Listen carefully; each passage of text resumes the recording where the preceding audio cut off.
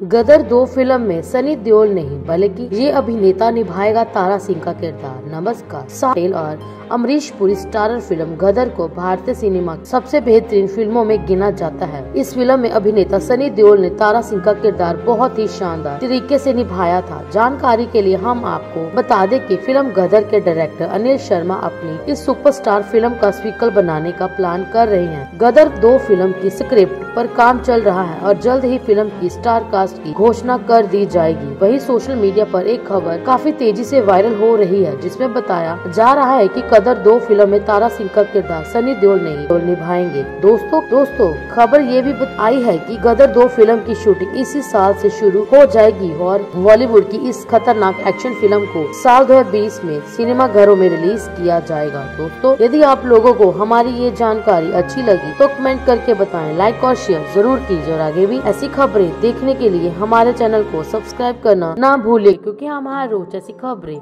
आपके लिए लाते रहते हैं। धन्यवाद।